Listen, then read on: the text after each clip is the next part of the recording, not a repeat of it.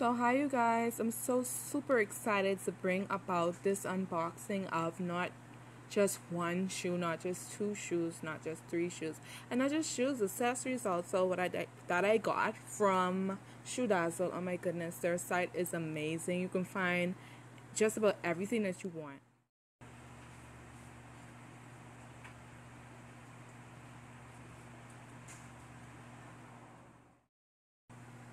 Like seriously, look at my new cat ears. I love them so much. Look at it. I love these guys. And they were on sale on their website. So I just did a quick lipstick break in between um, takes. So yeah, I just want to tell you guys more about my shoes and all that I do with Shoe Dazzle. Um, basically, I'm a VIP member and I can get sales like every month.